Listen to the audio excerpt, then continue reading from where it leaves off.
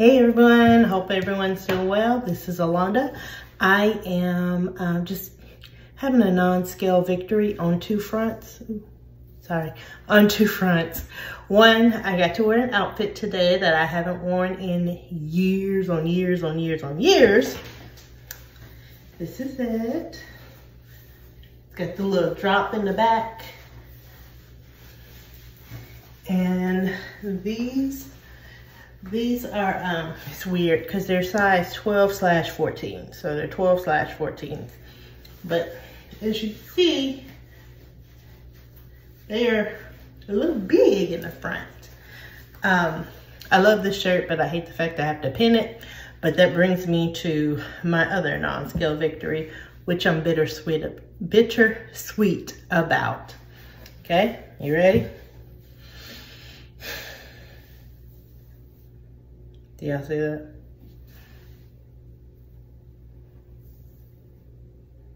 These are, this, this is a bra that I would normally wear and fell out. And it's on this side too. So they're in there. they're just kind of far down in there. Yeah. So, is there anything called Ozempic boobies? Because my girls are leaving me. I'm gonna have to get new bras. Um, I actually went through my underwear drawer this past weekend since I had so much energy. Um, and I truly got rid of my my big girl underwear and um, pulled forward my other girl underwear. So about maybe a month ago or two months ago, um, I took my big girl underwear and I rolled them up and put them in the backpack. But this past weekend, I said, nope, we're not going back there. We're not. So let's just get rid of them. So I did. And so I guess this weekend I'll be working on my bras because yeah, this this this one's a little big. It's it's it's like where are my girls? They're in there. But yeah, so non-scale victory um, on that front. And uh, yeah, so today's Thursday, but I will update everybody um, on tomorrow's video, which I think I'm probably gonna put this in that video. So yeah, until then, I'll see y'all in a bit. Good morning. Today is September 6th and this is Alanda and we are living on Zepbound. Today, I will be giving myself a 10 milligram of Zepbound. Um, it's early. It's like 6.20 in the morning. Normally, I do my Zepbound around 4.30, 5 o'clock in the evening. But today is a different day. Today, my son is having his first football game, um, being in sixth grade. Well, he used to play flag, so now he's doing tackle. So once I leave work, I'm going straight to the game and then there's some celebratory stuff. So I figured I better get this done now, otherwise this video will be late. So see y'all in a moment.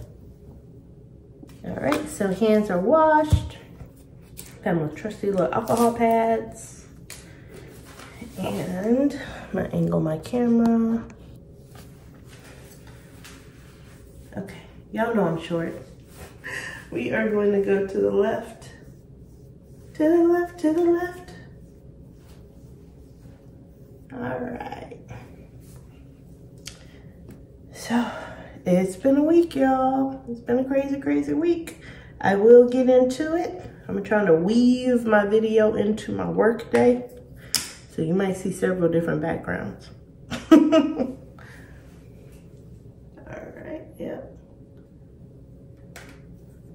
And one, two, three. All right. And just so you know, I'm not squeezing, I'm just holding. Because I have a little sag sag. So let's bring that sucker up a little bit. All right. Oh, tad bit of dot. Ever so tad. All right, so as you know, last week I kind of screwed myself over. I was doing the most. And um, 10 milligrams gave me a lot of energy. We'll see if that's going to be consistent or if that was a one-hit wonder. We'll find out. But um, yeah, so first time doing a Zepbound, and this is week 30, but first time doing Zepbound in the morning and not in the afternoon. We'll see how it goes. But let's get into this week. All right. Hey, everyone. So let's recap last week. If you recall, on Friday, I gave myself my first dose of 10 milligrams Zepbound. Not knowing how my day would go, I had prepped myself to sleep all day. Um, usually when I took 7.5, it would knock me out and I was just knocked out for the day. Um, 10 milligrams seems to not be the case. Um, yeah, so I woke up on Saturday full of energy, getting myself going. Um, I ran around a lot. I even worked out twice. And because I worked out twice, um, I thought I'll just have half a can of electrolytes to replenish everything that I just lost. So I drank a can of an electrolyte, not a whole can, a half can, half can of an electrolyte and the um, electrolyte has a thousand milligrams of sodium. In doing so, it knocked my body out of whack. The can itself does have magnesium and um, what is it? Magnesium and what is the word? I keep wanting to say potassium. It's not. What is it? Potassium. It had potassium but the sodium really just knocked my body out of whack to the point where I gained 10 pounds of fluid from Sunday morning to Tuesday. So Friday I was 214 pounds by shoot really by Tuesday I was 223.9 pounds. I'll show the things on here, but I had gained roughly 10 pounds of fluid. Now, I'm not going to say it was 10 pounds of, of food because the suppression um, of 10 milligrams really kicked in. So it was more of doing my normal routine on eating, but also kind of forcing some things to remind myself. Um, like with my breakfast, I would eat um, eggs with cottage cheese, and I've started adding either like chicken in it or meat. Um, or sausage. I've tried to do a bunch of different things to make sure I get my protein in the morning. Well, um, like I said, I'm not going to say that was food. It was literally liquid. So, um, did some things, got some IV bag, or I got a IV bag, a IV bag with potassium and magnesium and some vitamins and something else. I forget what it's called, but it was to help everything start moving. So I did that on Tuesday and by Wednesday I was peeing. The girl was peeing. Everything was going. Um, and I could see the scale decreasing. So it went down, down, down, down, down. So everything that was supposed to be doing its thing was doing its thing. When I had the IV bag, it was roughly a gallon of water. It was an equivalent to drinking a gallon of water um, because I had done several things with the workout, taking the increase of 10.5, and just having all the hormonal complications that I had from the previous week. I'll jump back to that in a moment. But um, basically, my body was out of whack. Um, my kidneys were fine. My um, everything else is fine with me being on Zepbound, and I don't know if this is the case for everyone because everyone's doctor, everyone's journey, everyone's situation is different. But I've been with my primary care physician for roughly 13 years. And I've mentioned this before. She knows a lot about me. More than my actual therapist knows about me. um, when my significant other had his affair in March, two days later, I was at my PCP getting a full workup. I need to check for STDs, STIs, ST everything's. Um, what else? Is there anything new I need to get tested for? Um, I hear syphilis is out there. Let's get tested for that. So I am very close to my PCP. She's very familiar with me and uh, all my array of issues. Also, I will also say I'm very blessed that with me being on this journey, she requires lab work every three months. So every three months I go in, we discuss uh, my titration. Am I going up? Am I going down? How are my side effects? That's one reason why I document my side effects because by three months I need to be able to tell her what's going on. Um, plus I do use their little telehealth um, line. So if I have a question, I'll shoot a question and they're pretty good at getting back with me. But she knows it all. And like I said, I'm blessed in the sense that whatever program they use, it gets sent to all my doctors. All of them. Like every doctor that I see, my cardiologist, my oncologist, because my oncologist is my blood doctor. So I say oncology and people automatically assume cancer. No, um, I have alpha uh, thalassemia, so I have extremely low iron. And um, whatever system they all use, they all see it. So it's very helpful for me. Um, I can't see it on my end being the patient, but they can see it on their end. They can see each other's notes. They can see, they can see a lot. Um, to the point where a couple years ago, um, my urologist um, was no longer in my network. And my primary care had to do a referral for that visit. So referral came in, they called me and they were like, hey, we're no longer in your network. Um, what do you want to do? You'd have to pay out of pocket. And I was like, I'll pay out of pocket because I don't want to start this, this game all over. And you know, the next year they were back in network. So frustrating. Not their fault, my insurance's fault, but it was just so frustrating. So I tell you all that because when I started having the issues earlier this week, um, when I reached out to my primary care to tell her what was going on, she referred back to all kinds of notes in my system. So in the video that I posted on Tuesday, I told y'all, say, I'm fine, don't worry about me, I'm good. And that's because she truly has a full scope of what is going on in my world. So again, I'm very blessed to have that. I'm very thankful um, that she has access to that. Um, yeah, I'm just happy about that. Uh, she was also able to look at my recent blood panel, my complete blood panel, which was just taken um, the second week of August. That's the last time I had my blood work done. Um, so she was able to go back and compare that to everything else going on.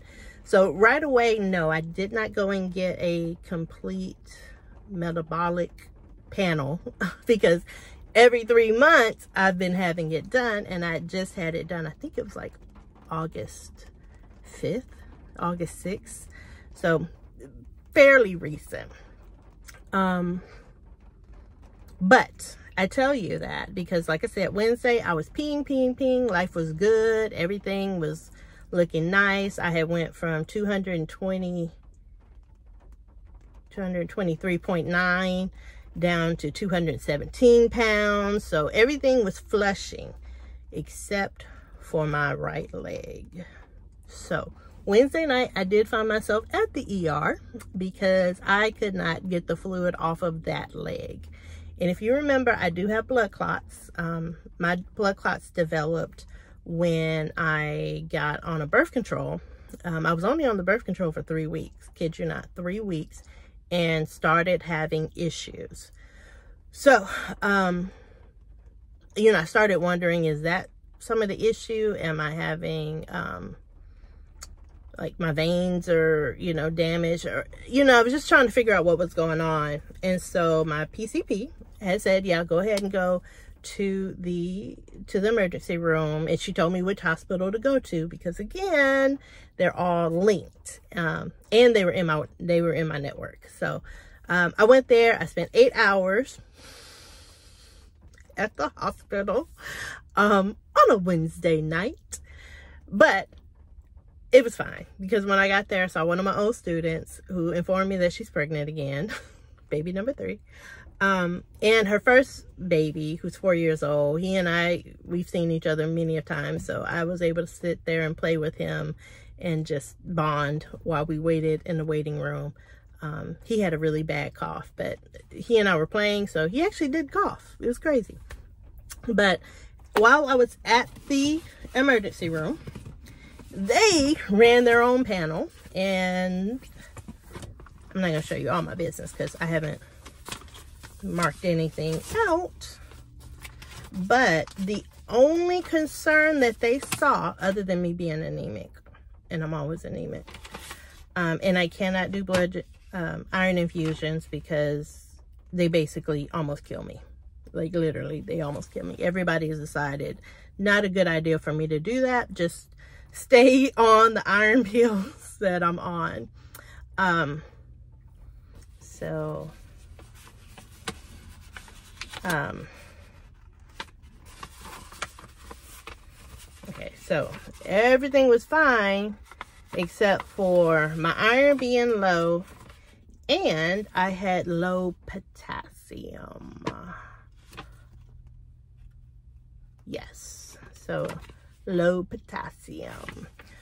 So to combat that, they did not give me another bag of um, IVs. They felt like my water level was fine.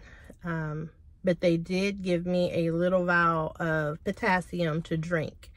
And they told me instead of drinking my big 40 ounce. Um, go smaller just for the next couple of days. Allow my body to try to recalibrate itself. So I am using my smaller one, which is a 32 ounce. Um, so I'm drinking my water, but I'm using my smaller container this time. What else? Um, eight hours in the, oh, while I was there, um, of course, they did my blood. Hold on. I'm showing you my stuff anyway. um, so while I was there, they did um, a basic metabolic panel, a complete blood count. They checked my creatine levels, creatine levels. Um, I had a ultrasound on both my legs to check if something was going on with my blood clots, which they're not. Um, yeah, so basically I had anemia, which I always have, uh, edema of the leg, my right leg, which is why I was there, and low potassium, which that's this H word that I can't pronounce. So everything is good. Thank you all for who worried and gave me their suggestions. Um, I don't know. I, I really do say thank y'all um, I've never had so many people so concerned, and that is extremely heartfelt because, like I said before, I started this. Oh my God, I can feel it. I started this channel and this journey because I felt like I was alone.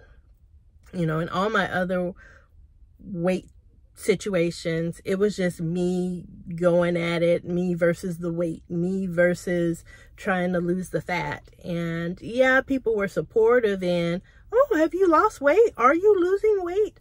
But that was really the gist of it. And so when I posted the video, um, I was really just trying to say, hey, y'all be careful with these electrolytes because Alanda's hard-headed and I thought I could drink a half a can. And here I am, you know, up a, up a creek. and just all the comments, all the concern, all the um the suggestions, they really, really, really meant a lot to me. Because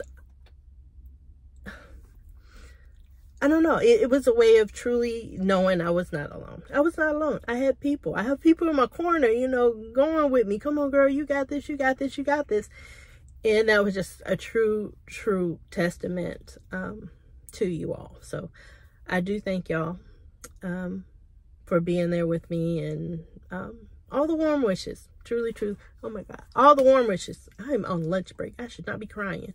Uh, but while i was at the the er they checked everything. Everything's fine. They just want me to chill for the rest of the week on working out try to let my my levels go back and um, she, the doctor I spoke with, um, also was a little concerned because I told her I had been having a whole bunch of cravings for like the last three weeks and that I moved up in Zepbound and actually she was on Zepbound. That's why I was kind of holding, trying, because she's on Zepbound. Um, she had gone on Mounjaro. No, she was on, she was on Mounjaro. Whatever it was, she, I can't remember. She's on Zepbound now, but um, with the shortage, the, own, the the ER doctor herself, she was like, because of the shortage, I had to switch over to this. So now I'm on Zepbound. And I was like, oh. But she also suggested that, you know, with me being premenopausal, with me having all the hormone issues, um, because she was able to see the notes from my doctor when I called my doctor to tell her all about, you know, what was going on with me eating and, you know, maybe I should go up to 10 because 7.5 is not doing it. she also said, you know, that does sound like you were having um, some hormone balance issues, but they could not see any hormone balance issues in my ER blood work. So she was thinking that that was balancing itself out. Um, and I agree with her. I really do. Because on Saturday morning, it was like someone turned off a light switch. I had zero cravings. Like zero. I told y'all I went to Costco. I was in Costco with zero impulse, zero cravings, zero everything. So it was kind of like a test, but it really wasn't because I wasn't thinking in my mind, go to Costco and see if you buy anything. I didn't. I was, it was a brand new Costco. I had never been to Costco. So I was like, let's go walk Costco. Um, but yeah, so 10 has really just no cravings. So now I have all this random stuff I bought because of impulse that I no longer want. No longer want it. It's crazy. Um, but 10 does give me energy. As you saw, I took my 10 milligram shot this morning. Also weighed myself. I'm at 214.9. So I've gained 0.9, which I don't know why my body loves 0.9. If you've been following me for a while, my body love a 0.9. but um, I do feel like it's still water weight because I took a picture, but my ankle is pretty much good now. But do the comparison. This was ER and this was um, this morning. It is going down, so I do feel like I'm still retaining some water. I am retaining some water. Uh, my lunch is almost over. Um, yeah, energy. You know, I found myself walking around this building like almost speed walking, like I'm in a marathon, just. um, so I do account that to being on the 10 point, um, 10.0 or 10 milligrams of Zepbound. Food cravings are done. Um, tomorrow I am taking my twins on a college visit and old Alanda would normally be extremely worried about this. Like, oh my gosh, they're going to want me to walk around and I can't and I'm going to have to take a break. But um, a month ago when we took my daughter up to Dallas and showed her around there, I had no problems. I had three hours of walking to campus. Um, other than having to stop and pee because I was walking around with my water, it was it was beautiful. Like I have no worries about walking on this campus tomorrow. I don't feel like I'm going to need to take a break. Um, I feel like, you know, being 50 pounds lighter has put me in a good position to to walk around and, and be with my kids. So thank you, Zepbound. um, so yeah, again, I am good. I'm still dropping fluid. And um, yeah, life is is pretty good over here. I can't tell if 10 point, I don't know why I keep saying point. I guess because I'm so used to saying 7.5. But I don't know if 10 milligrams of Zepbound is going to bring a whole bunch of weight loss because you know, I kind of screwed myself over this past week. But I have hope for it. It's shut out the food noise. I don't hear nothing. It is quiet. It's like crickets, cricket, cricket. But yeah, so I hope everything is going well. I am doing well. The fluid is flowing. I'm staying away from the electrolytes. in all shapes, forms, and fashions. Um, I did sign up for a 5K. It's in January. Um, I usually do it every year. Uh, last year I did not do it. This this past January I did not do it. Year prior to that I did do it, but I did it up in Dallas um, with a friend. And um, prior to that I did it every year. So I am going back to walking, not running, walking my 5K in January.